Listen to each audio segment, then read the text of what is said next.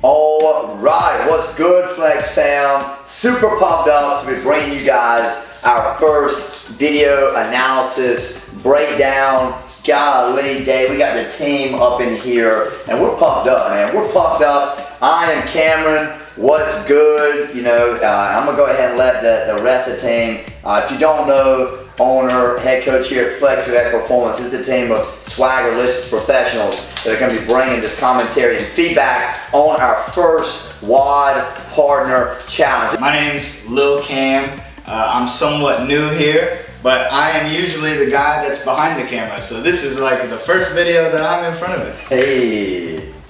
Coach Maggie. Coach Brandon. This is going to be lit. We're highlighting two athletes Tori Paul and Holly White, and man, did they really get after it. So get into the partner WOD workouts so you might get selected here to get this team of pros talk junk about you as you do your fitness. No, we're just kidding. We're just here to express some love.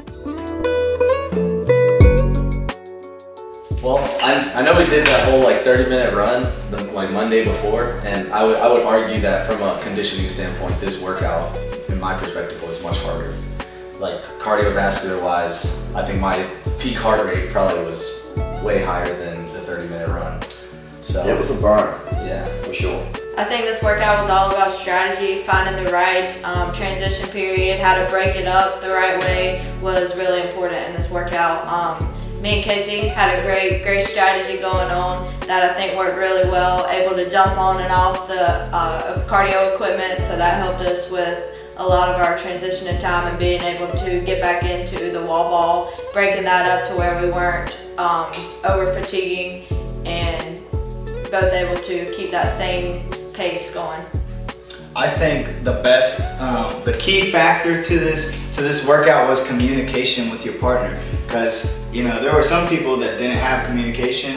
They were just going, you know, full throttle ahead the whole time, and they never swapped off until they had to. And then that's where you start to see some lower scores, a lot of fatigue as the workout was going on. So for me personally, the key would have been uh, communication with your partner. It's a rapid pacer across the box. I love it. You know, doing a good job here. I think on the transition from the box, the goal will be, um, you know, if you can, one step over. But I know when my legs were blown up, the one step strategy went out the window quick. And, um, you know, it's just like get over the box.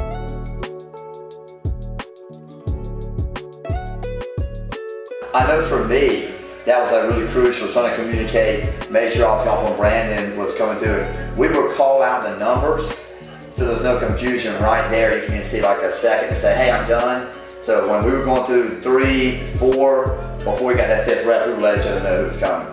I think that the calories part of the workout is one that's easy to get sucked up into. So really communicate with your partner. If you're you've got a bigger engine and you feel like you can push the capacity a bit, you know one thing Brandon decided to do was take longer sets on the rower and uh, smaller sets in the assault bike. Just understand the fatigue demand, you know, and our preferences on those. So honestly, we did so many wall balls in the first round. My legs were jacked up from the start.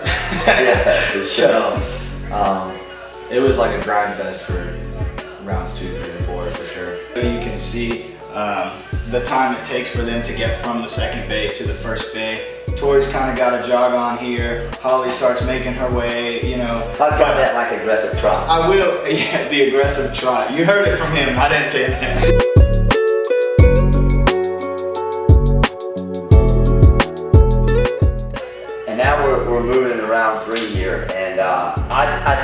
See the fatigue.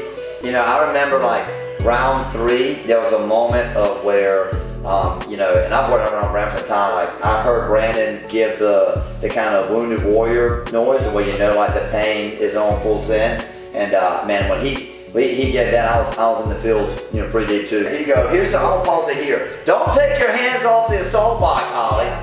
Don't take your hands off the assault bike. You want to keep, yeah, keep those mitts on the assault bike.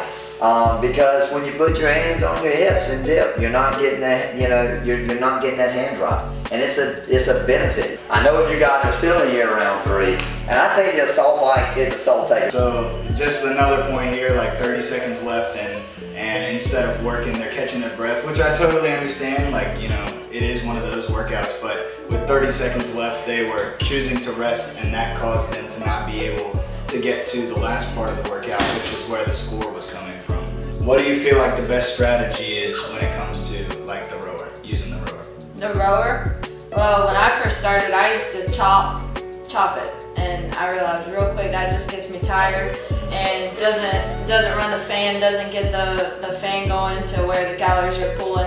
So now, like I'll see people chopping it, and I see that like they're getting fatigued, and I've learned quickly to get a big pull, like kind of get that extension, um, and it it gets the calories up a lot more. You're, you're you look like you're going slow, but it's actually um, Yeah. When you say chop, are you talking about like you would like move it up and down? Or, no, like just like quick, just Oh, okay, okay, not getting gotcha. like just trying to go as quick as you can instead of like kind of getting that full Right. full length pull.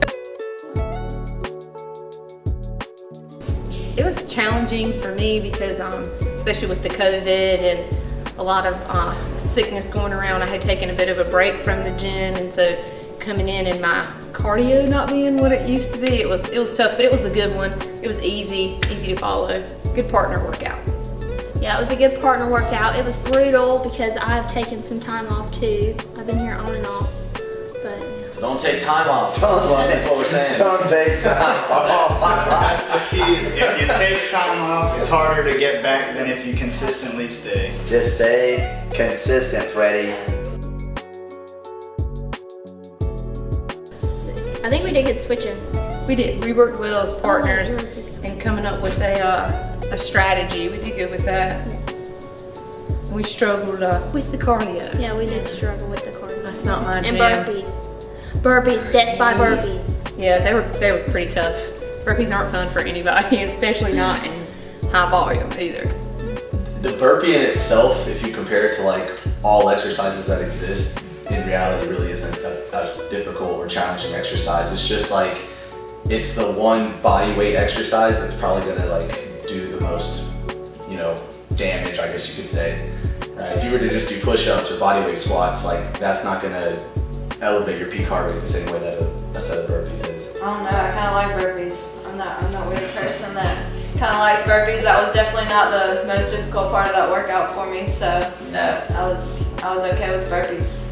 Partner workout one! Come and get some! Week one done! Week two coming! Let's